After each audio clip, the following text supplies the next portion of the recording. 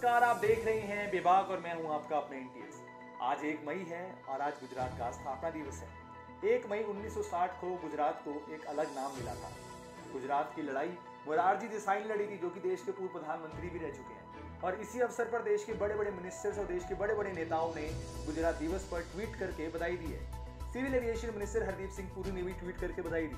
वहीं आपको बताएँ कि योगी आदित्यनाथ, अमित शाह, जगत प्रकाश नड्डा और देश के प्रधानमंत्री नरेंद्र मोदी ने भी ट्वीट करके बधाई दी है। वही आपको ये बता दें कि गुजरात के जो मुख्यमंत्री हैं, विजय रूपानी, उन्होंने कहा, ये गुजरात की मैन फोर्स है और ये गुजरात के जो बड़े बड़े लीडर्स आए हैं, जिन्होंने राज किया गुजरात पर, आज गुजरात इतनी अच्छी स्टेट इसलिए है क्योंकि इन लोगों की मेहनत थी और इसलिए आज गुजरात काफ़ी अच्छे मुकाम पर है।